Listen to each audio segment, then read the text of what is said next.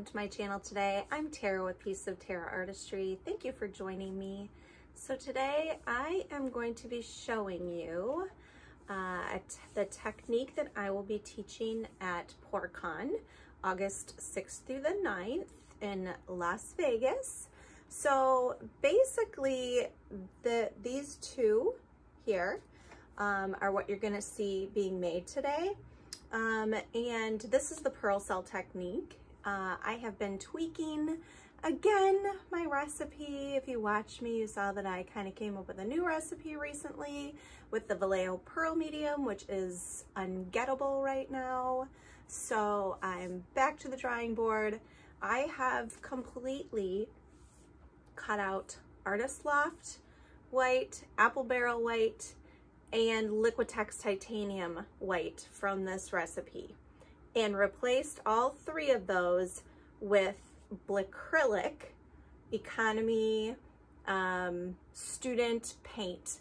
Uh, they're titanium white. And uh, I've kind of pared down my recipe also with um, taking away the GAC 800 and the Liquitex pouring medium and combine them into just the golden color pouring medium uh, and in the gloss that is.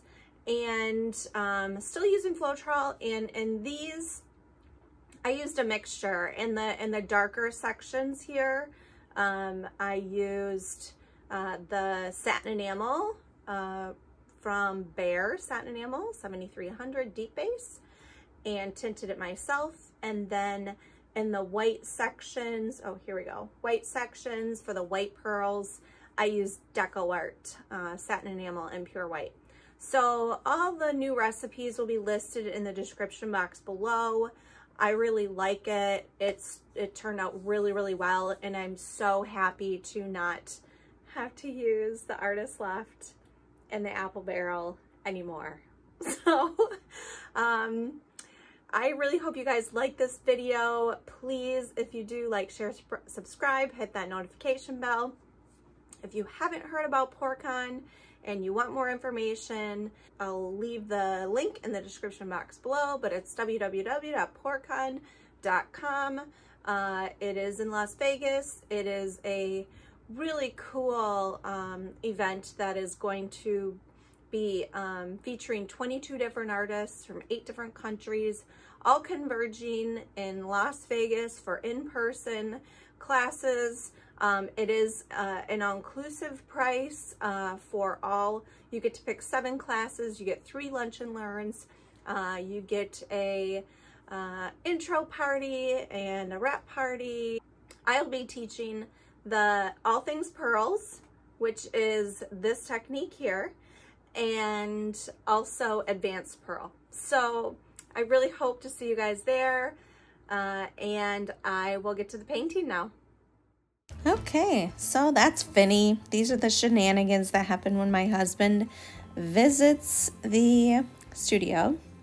But um, today I'm going to be showing you guys how I do the pearl cell technique um, this is with the white and the colored pearls.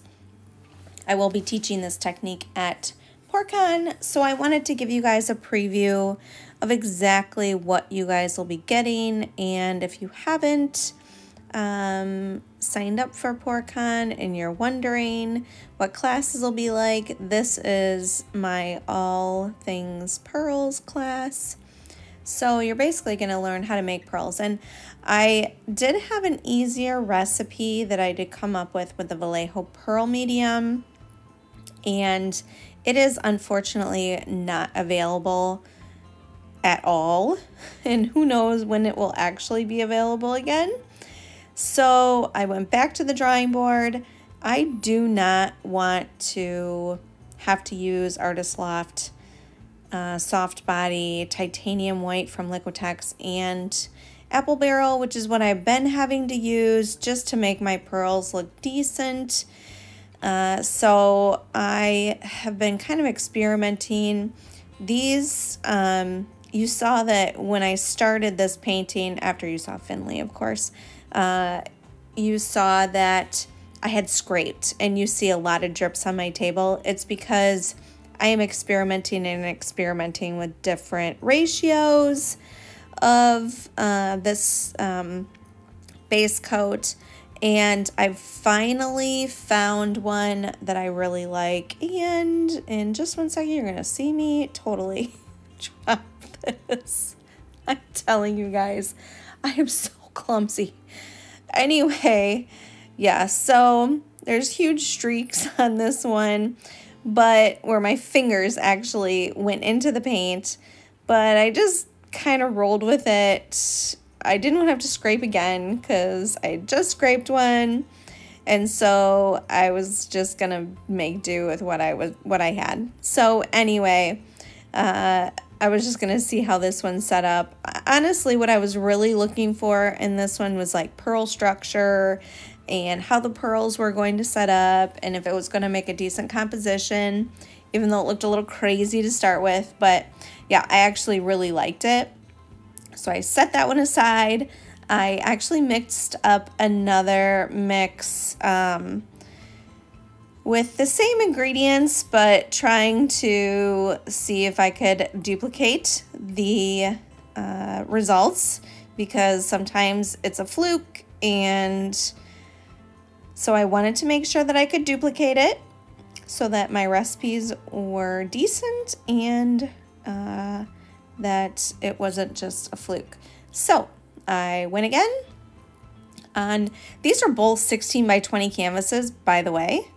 Uh, and I am, you can see they're already starting to pearl over that turquoise over top of the white, which is fine. Uh, once I added the flip cups and stretched it out, they it re-pearled, so it was totally fine.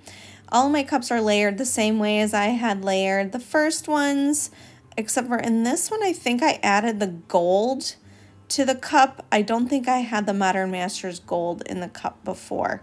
So just so you know that, that's a little bit of a change that I that I changed on this one. So two flip cups, put a little Modern Masters gold in the center of the flip cups and I am going to let those go. So on the first one also, my parakeet, which is my uh, TLP pigment, I had left a little thinner. So on this one, I let it stay, I thickened it up just a tad. And I'm really liking how it's showing in this one.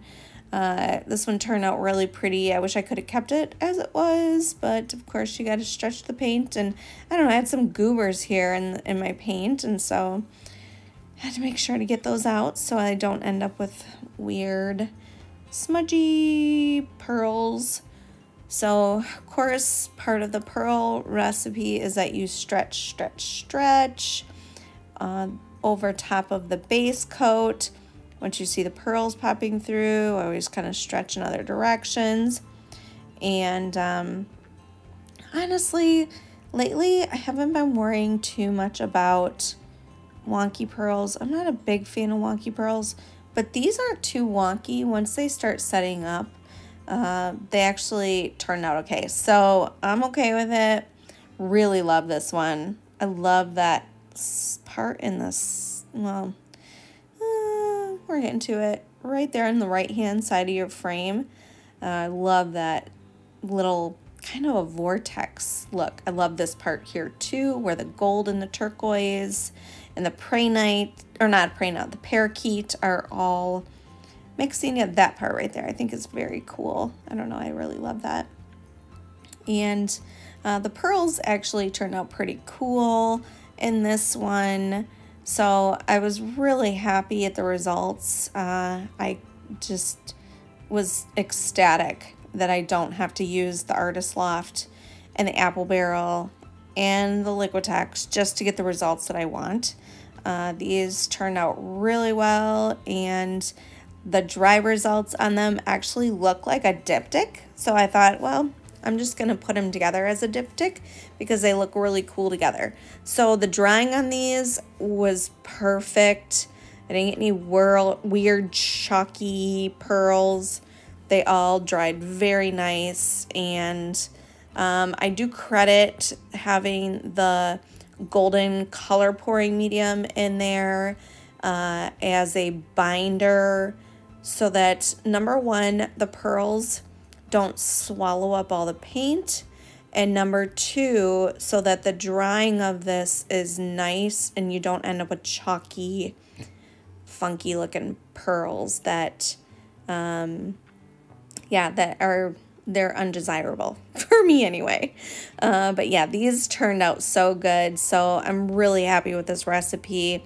I think sometimes people use the, um, like either Artist Loft by himself with just um, water and uh, paint. And I feel like the pearls get swallowed up with that and you just don't get the, the quality of pearls. In my opinion, this is just for me, you guys. Other people get great results, but for me, I feel like the quality of my pearls are so much better when I use um, good quality materials. So you guys can let me know what you think in the description or in the um, the comments below and hope to see you guys at PourCon if you can make it. Otherwise, I'll see you on the next one. Bye, y'all.